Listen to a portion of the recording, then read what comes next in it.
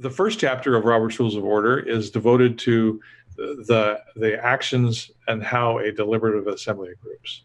So the characteristics of a deliberative assembly is a group of people determining the course of action to be taken in the name of the entire group.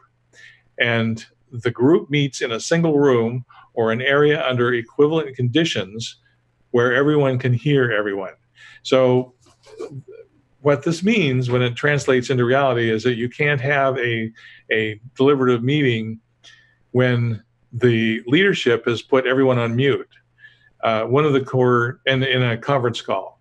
Um, so in our, our Cascadia e group, uh, where we're going to be studying this stuff virtually, everyone will be uh, on basically on a hot mic, uh, and hopefully no one is uh, eating potato chips or watching football in the background because the idea is that everyone can hear everyone and you can have a free and open discussion. All right, wait, wait, wait. Let's just talk about that for a second because we're talking about doing you know modern technology here.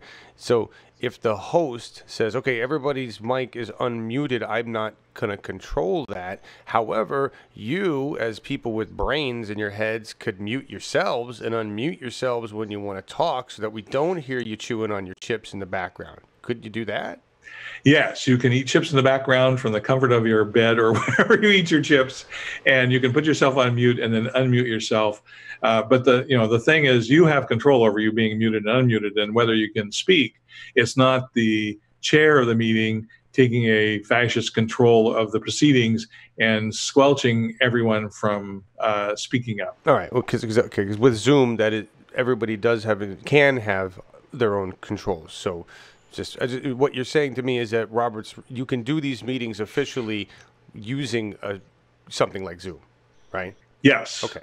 Yeah, and uh, they they you know they ask that you authorize it because you are deviating from the concept of everyone being physically in the same room. But you know when you have people coming in from a broad area, uh, it, it suddenly what you lose from being physically adjacent to each other in the room uh, is is a worthwhile trade-off in, in, in order to be able to meet at all. All right. So the, the core core the core rule is that the uh, that you have equivalent conditions where everyone can hear everyone. All right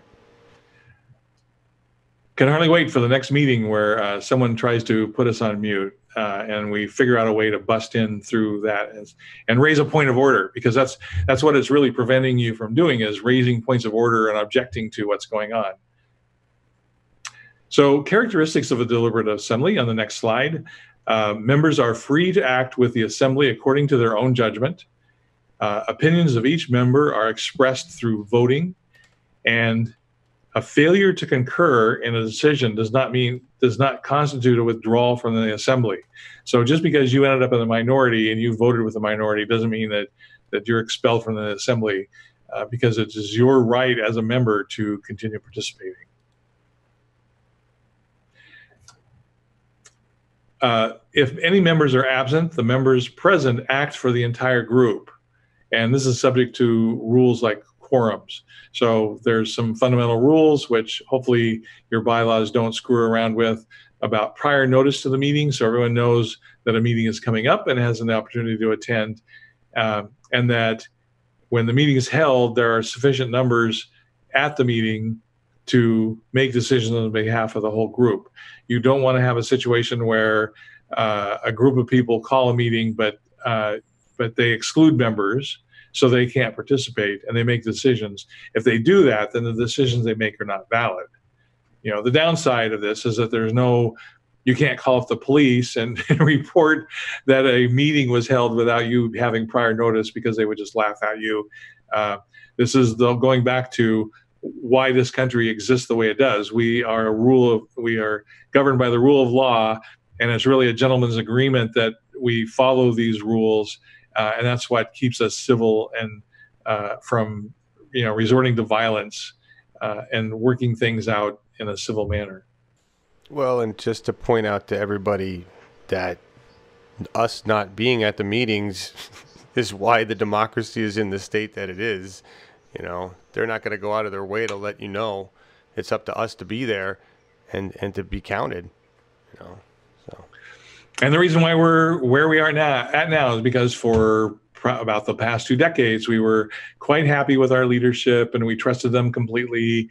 And it turns out that we should not have trusted them as much as we did. So now we have to work hard to change the bylaws so that they, they can't get away with this shit anymore.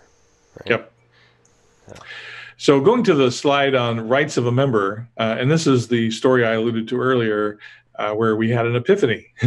so members are entitled to full participation in the proceedings, including the rights to attend meetings, make motions at the meeting, speak and debate, and vote. And the uh, the situation that came up uh, was at, at a uh, a county organization which had a credentials committee that would verify whether people are members when they came in the door.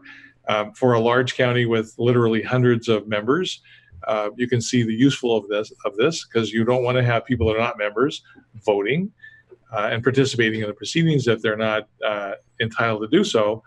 But they decided that the credentials committee would close credentialing when the meeting started, and so anyone who showed up late um, because you know traffic or um, they couldn't the babysitter didn't arrive or or they couldn't get off work early enough. They would not they were refusing to credential anyone who showed up late. This is in direct violation of of these rights of membership. Even if you show up late it doesn't mean that you can be excluded from the meeting. Um, and your rights are being taken away from you. Uh, and so you should watch for a forthcoming uh, uh, session that we're going to have on how do you how do you push back and demand your rights. Just real quick on that, everybody. We have the entire uh, s- series. I don't even know how many you've plugged in there, like 10, 12, running through September and and uh, actually even to October. Uh, so you can subscribe to that playlist on our channel. Go to uh, youtube.com forward slash uphill media and get notified when the next one, event's going live because Larry's going through all this stuff. So on the next slide uh, on rights of a member, no member can be individually deprived of these basic rights of membership except through disciplinary proceedings, or there's actually another way. But uh, you know, no no matter how obnoxious you are, uh, as long as you know, and, and, like bringing up the same issue time after time, as long as you're not violating the rules, you are do, you are acting within your rights, and people cannot deny you your rights just because they're tired of listening to you. Um, uh, and they have to go through a disciplinary process to deprive you of your rights.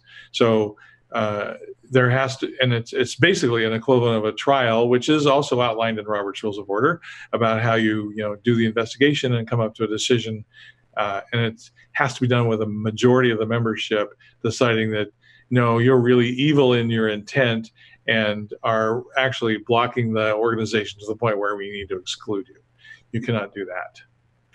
The other way to curtail rights um, is by a vote of the majority. So there are are so, some of these rights that are modified. So an example of this would be um, the uh, the right to speak, and I believe I coming up I'm coming up to this later, so I will talk about that when we get to that slide. Uh, the next slide, uh, if the you're you have a group that's not adopted the rules and we have a very interesting situation here where i live in astoria where we have a city council that uh, was established the year that roberts that general robert wrote his rules of order and they never got around to adopting anyone's rules of order. And so uh, they've documented one or two things inside the charter but um, the rest of the rules that you find in robert's rules of order all 700 and some odd pages are not valid. So you can't do things like I move that uh, we reconsider or uh, I move to table because the concept of tabling is not recognized inside the charter and it's not recognized in um, uh, uh any rules that they've adopted. But a deliberative assembly that has not adopted any rules is commonly understood to hold itself bound by these rules and customs of general parliamentary law, which I've just gone through, to the extent that there is agreement as to what these rules and practices are. So you can see yourself being very exposed if you are a member of a council that has not adopted these rules. And it's really you yourself appealing to the the uh, better nature of your your uh, your fellow members uh, if you if you try to invoke some of these uh, basic concepts of parliamentary procedure when it's not it's not been agreed to. We're going to be trying to get our Astoria City Council to adopt uh, rules uh, coming up. This is the year of elections, which is a great time to be talking to candidates about what they're going to do once they're elected. And this is one of the things that we would like them to do. You mean your city council doesn't do Robert's rules now? They, yeah, they don't follow any rules of order. How the hell do they get anything done, or do they not get anything done? They don't get anything done. the big, the big article this past week was about the the Safeway hole, which is a two block area in downtown Astoria that has uh, existed for uh, for eight years, and the the the mayor uh, doesn't know how to prioritize things, doesn't know how to bring things to consensus, and basically, uh, it's now called uh, LaMear's legacy um, uh, because they can't decide what to do. Um, and you know, and it, it's amazing that people are not that their hair is not on fire over this because it's they could be uh, uh, properties producing revenue, you know, for the tax base. Um, they are unsightly. They could be really exciting components of the, the, the Astoria urban landscape, but right now they're just a it's just a two block hole. It's so insane. yeah. It's I mean this is your tax dollars. This is we could be getting things done for people, and instead you have a when's their election? When when does the mayor up? You going to run for mayor? Uh, no, I'm not, and they're up. Um, uh, this coming November 6th. Oh, well, there you go. Uh, and hello, all seven of you watching live. Good to have you. Please join the chat if you want. Hey, Phil, good to see you here. All right, continue on, Larry. Thank you. So, the basic principle of decision making, and uh, this is on the next slide, uh, is a proposition must be adopted by a majority vote. This is going back to the majority rules concept. Um, and direct approval must be registered by more than half of the members present and voting in the properly called meeting. So there's a lot of conditions here of the members present. So you don't count people that are absent in calculating the vote. And they have to be voting in order to count whether they voted for or against it. You don't count abstentions. And, of a properly called meeting, and this means that the meeting was done with prior notice and um, a quorum existed. And more than half means more than 50%. So if a vote is taken and the vote is 10 to 10, the vote fails. It has to be 11 to 9 or more than half. Um, and you often see a the uh, the the presiding officer being the deciding vote sometimes if if there's 20 people voting and uh, it's a it's not a ballot vote uh, and and the result is is 10 for and 10 against, the presiding officer can then cast a ballot for or against that decides whether it, it uh, uh, passes. They can actually uh, not vote and let it fail uh, if they want to do that. Just real quick, eh, everybody, there, if you want to know more about quorums, and, and that's an interesting subject, Larry covered that in the last uh, live stream, which it's one of the, the chunks that's broken out. Just go to Uphill Media on YouTube, and you can look for that series right there. It's really interesting to learn. Um, you can set some rules around quorums, right, Larry, to, to make sure that they have enough people before they go making some decisions. Yes, and there's a default definition of a quorum, and then you can modify it in the bylaws if uh, if you need to. Yeah. Uh, which is we covering in the next slide. So, John, please go to the bylaws slide.